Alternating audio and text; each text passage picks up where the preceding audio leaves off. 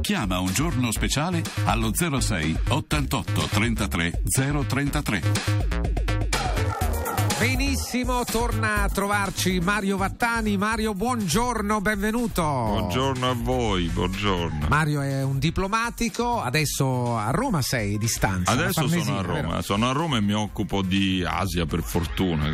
Sono... Che è la parte del mondo che conosci meglio anche. Beh, alla fine sì, io sono partito, in realtà la, la, la, mia carriera è iniziata in direzione opposta perché la mia prima sede era a Washington. Eh. Poi da lì però ho cominciato ad andare andare verso Oriente perché dopo sono stato in Egitto, sono stato console al da Cairo. Da è uscito anche un, un, libro, no? Recentemente. Sì, sì, sì, sì, l'anno sì. scorso. E poi, e poi da, lì, da quel momento il Giappone mi ha completamente assorbito. Ma veramente ti ha assorbito? Totalmente, Totalmente. Direi, perché anche la mia famiglia poi alla fine è, è, è, giapponese, cioè mia, mia, moglie è giapponese, i, i ragazzi sono, sono non, si, non bisogna dire metà eh, giapponese e metà italiana, sono giapponesi e italiani. Che, eh, certo, esatto, non ci sono ostacoli. Senti, e Svelare il Giappone è il tuo ultimo libro, è uscito da poco, lo stai cominciando a presentare e ci racconta un paese eh, diverso da, da, sempre, è considerato così e, e, la globalizzazione quanto ha cambiato il Giappone, Mario? Beh, questo della, della tradizione e della coesistenza l'esistenza della tradizione e della modernità è uno dei temi giapponesi. Eh, in realtà il Giappone è sempre stato, eh, più, nella storia si è sempre aperto e chiuso eh, nei secoli. Eh, noi ci ricordiamo, insomma, abbiamo visto anche dei film, ci sono, ci sono stati ultimamente Silence, per esempio, un film meraviglioso in cui si vede proprio questo Giappone chiuso all'influenza occidentale che a quei tempi, quindi dal 600 all'800, era il cristianesimo e le armi da fuoco. E, mh, mm, poi c'è stata un'apertura, e, ma quello che io racconto anche non è un libro di storia questo qui, ma è chiaro che bisogna anche eh, spiegarle un po' questi aspetti. La, l'occidentalizzazione, se vogliamo, del Giappone che inizia eh, a fine Ottocento, in realtà non è imposta da fuori, è una scelta, è una scelta che il Giappone ha fatto per non essere colonizzato. Quindi è, è molto particolare questo aspetto. La globalizzazione diciamo che viene vissuta ma in modo pragmatico. Perché loro ci sono riusciti ed altri pur volendolo fare non lo hanno fatto invece, non ci sono riusciti, altri è, paesi. È vero, se si vede il Giappone è stato poi tra l'altro eh, agli inizi del Novecento, il Giappone era un esempio per tutti gli altri eh, paesi come l'India per esempio che volevano insomma in qualche modo scrollarsi questa presenza eh, occidentale, questi, la, la colonizzazione, quindi che la subivano sta, il Giappone in, si scappava in Giappone, eh, i nazionalisti indiani fuggivano in Giappone.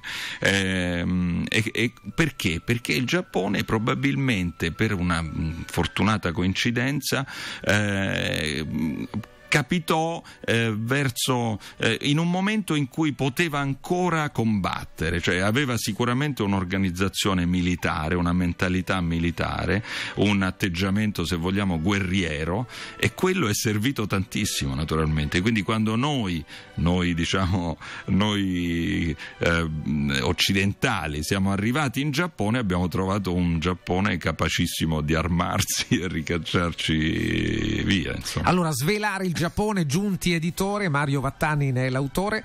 E eh, hai già detto non è un libro di storia, non è un eh, libro oh, di filosofia, eh, forse di filosofie, insomma, ma, la loro, ma è un libro che racconta il Giappone molto semplicemente, in maniera anche così, eh, de, su tutti gli aspetti della vita giapponese, per esempio il ritmo giapponese, che ritmo hanno i giapponesi? Sì, io questo l'ho voluto mettere proprio quasi all'inizio, come se avessi voluto dare al lettore alcuni codici. La velocità anche di lettura, voglio eh, dire, sì. in qualche modo. Beh, l'avvicinamento al Giappone, che in fondo è sorprendente in certi casi perché il, il, ci si, si, arriva in un, in un, anche in aereo, la, la visione del Giappone è, è, diversa da quella che immaginiamo. Noi immaginiamo queste megalopoli, gente che, eh, che va su e giù in questi incroci eh, con migliaia di persone che, che sem- occupatissime, si che si incrociano e in realtà il Giappone appare una verde, una natura rigogliosa, eh, questa ricchezza di acqua poi, di, di sorgenti termali, eccetera. E, e, e, io ho voluto raccontare anche un Giappone domestico, se vogliamo. Io ho avuto la fortuna, diciamo, di vivere il Giappone non solo da, appunto, avendoci lavorato, ma anche avendone vissuto la, la famiglia stessa, la nascita dei figli, per dire. E, e ci sono degli aspetti eh, che in qualche modo, quando dico svelare, non è che io svelo il Giappone. Beh, svelare il Giappone è più un'istruzione, forse, è qualcosa che bisogna fare, o un consiglio, diciamo. Il, lascio, il, Giappone si lascia svelare, ma ha dei codici, ha delle regole, ha dei tempi. Eh, e io trovo che sono felicissimo tra l'altro di vedere eh, che noi italiani, che già amiamo molto eh, questo paese, la sua cultura, li conosciamo in fondo i giapponesi, ma c'è una grande, una grande curiosità. Il, il, libro è andato in ristampa dopo nemmeno un mese dall'uscita, quindi sono, sono felicissimo. Anche, anche per me è la stessa cosa, mi fa molto piacere. Il Giappone ama l'Italia come noi amiamo il Giappone, forse ancora di più. Mm. E cos'è che piace a loro? Del nostro paese, per esempio? Beh, loro ehm, il, la vita di tutti i giorni di un giapponese è molto, ovviamente, molto diversa nei, nei ritmi dalla nostra, anche nelle ore di lavoro, nel, nella scarsità del tempo libero anche. Però il sogno eh, giapponese, cioè il sogno che hanno loro di un ritorno quasi rustico certe volte alla natura, un, un ritorno a, a, a, mangiare cose buone di quella stagione, eccetera. E loro questo lo vivono in Italia, perché loro quando io dico sempre che, eh, cioè mi capita insomma di spiegarlo questo agli italiani, che così come noi per esempio andiamo eh, una domenica fuori a mangiare una determinata cosa in una determinata stagione, mentre siamo lì parliamo di, di altre cose che potremmo mangiare in altre stagioni, i giapponesi fanno la stessa cosa. Certo lo possono fare meno di noi perché hanno meno tempo, ma diciamo che l'aspirazione l'ispirazione giapponese è simile in fondo alla nostra. Vivono bene loro? Vivono eh, bene, sono ben pagati, il lavoro beh, non manca. Eh, quando, quando, mm, io un, un, un, altro modo di descrivere un po' questo libro che ho è quello eh, di un percorso come attraverso dei pannelli scorrevoli della casa giapponese tradizionale, come noi la vediamo certe volte appunto al cinema, no? questi, questi, tatami, il, il, uh, de, degli ambienti rarefatti. Beh, questo però non c'è, non c'è niente di più falso in un certo senso perché naturalmente i giapponesi vivono con spazi molto ristretti, le, le case nelle grandi città sono carissime, però i, gli stipendi sono molto alti. E poi c'è una cosa da dire, che in Giappone quando si esce, quando si finiscono gli studi, quando si finisce l'università o istituti tecnici o altro, il lavoro si trova immediatamente. No, andiamo avanti. Allora, soltanto una piccola cosa ancora sul, su questo. Insomma, il lavoro, la, i costi molto alti, mm, ce l'hai confermato, quindi è tutto vero. Pregiudizi quali sono? I pregiudizi che noi abbiamo verso di loro e, e, e quindi essendo Beh, un pregiudizio poi non è vero, qual è il pregiudizio più, mm, più brutto? Insomma, da, da... Il pregiudizio nostro verso di loro sì. certe volte è, è, quello di vederli così rigidi, no? noi li vediamo a volte sembra sembrano quasi timidi, sembrano non affermarsi, nel senso non, non esprimersi. In realtà questo è dovuto soprattutto alla, alla lingua non, eh, e ovviamente anche all'educazione che è fatta di riservatezza e modestia, diciamo, queste sono le qualità delle persone, sono queste, la, la, la capacità di sopportare, la pazienza. Loro nei nostri confronti hanno pregiudizi in un certo senso positivo, certe volte li trovo consolanti perché noi abbiamo la tendenza a dire ecco qui ormai è finita, eh, va tutto male, eccetera, e loro ci dicono: ma no, ma come l'Italia è un paese meraviglioso? Cioè, loro, la loro visione dell'Italia è quasi paradisiaca e noi abbiamo per loro questa immagine di persone che riescono poi a risolvere tutto e che in un modo o nell'altro ce la fanno. Senti, un'altra, a parte ti arriva uh, un saluto da un tuo amico, Massimiliano Tranfo. Ah, certo. Eh, bene, ti manda un saluto adesso, ti sta seguendo, eh, ci sta seguendo. Eh. Ecco un'immagine, anche questa è un'immagine, eh, la geisha. Ah, sì. Allora, cosa significa intanto questo termine geisha? Beh, geisha significa ehm, artista. Ne parli realtà. tu nel libro un pochino? Parlo anche di questo perché il libro copre un po' anche la, la vita, la vita, appunto abbiamo detto il lavoro, la famiglia, la scuola e queste cose qui e poi naturalmente il- quello che avviene dopo il lavoro. Eh, la, la geisha l'in- è l'intrattenitenitrice, ma gay sarebbe arte, quindi sarebbe, sono, sono ragazze che nel passato, ma anche adesso, sono, sono veramente artiste nel senso che studiano per anni eh, la musica, la danza soprattutto, e poi uno studio particolare che è quello dello stare insieme alle persone, nel senso che la capacità di, di- di, eh, conoscere, di eh, farsi riconoscere e di, e di facilitare la conversazione tra persone di solito di altissimo livello, ovviamente, perché questo, questo tipo di intrattenimento è carissimo, tra l'altro.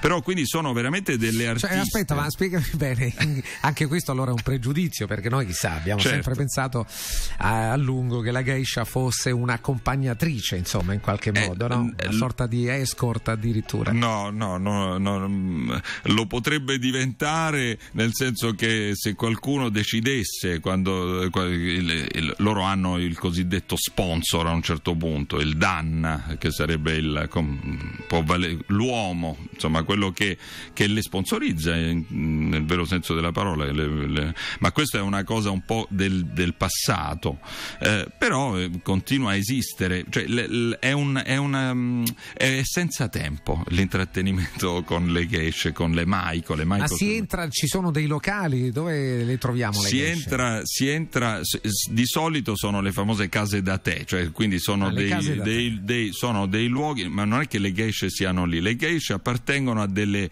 a delle case eh, che, mh, dove, dove studiano, dove iniziano a, a- e da lì vanno a incontrare i loro clienti, eh, per esempio in in ristoranti ovviamente di alto livello oppure eh, anche in dei bar la sera, ma sono tutte, eh, è chiaro che c'è una for- grande diciamo, eleganza in tutto questo.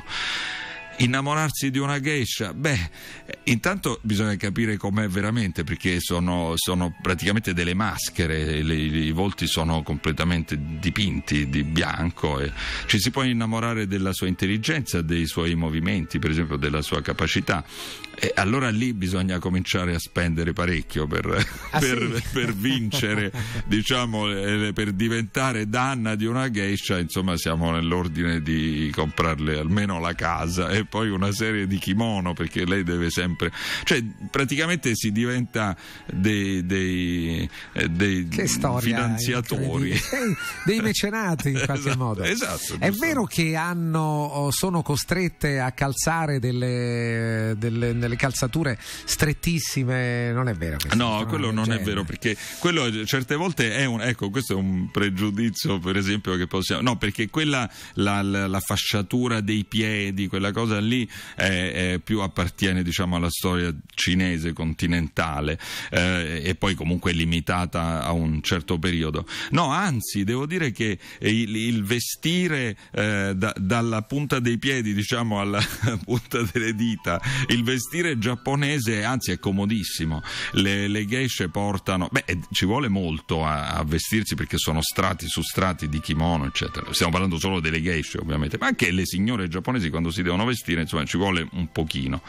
Eh, ma portano una cosa caratteristica che tra l'altro trovo eccezionale, sono come dei, dei- dei calzini eh, fatti di cotone bianchi che si aprono e che hanno una divisione tra l'alluce e le altre dita, di modo da poter poi calzare eh, i zori, cioè questi, questi mh, cia- no, zoccoli, ecco, o le gheta, addirittura quando è inverno nel- per camminare nel, nel, nel, fango delle strade, immaginiamo con tutte quelle cose meravigliose che avevano addosso, dovevano portare delle specie di, di zoccoli altissimi, quindi cioè, ecco la difficoltà è più quella che non calzare la, il, insomma, la comodità del piede. Mario, stiamo per chiudere, l'ultima cosa te la chiedo per sintetizzare alcune delle cose che ci siamo detti, Svelare il Giappone, eh, l'ultimo libro di Mario Vattani che piace molto e mm, posso immaginare anche il motivo, ci sono, eh, stai facendo dei racconti eh, molto molto interessanti, ci incuriosisci molto, Giunti Editore. Riassumiamo il libro in poche battute?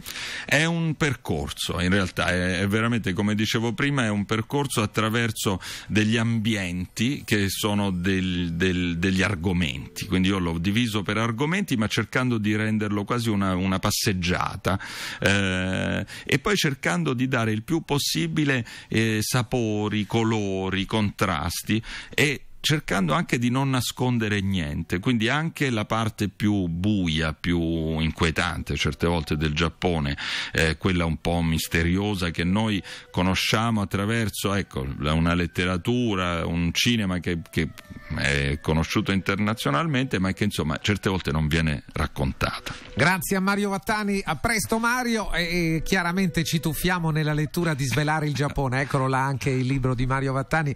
Noi vi ringraziamo, buona fine della settimana, tra poco Radio Radio Lo Sport.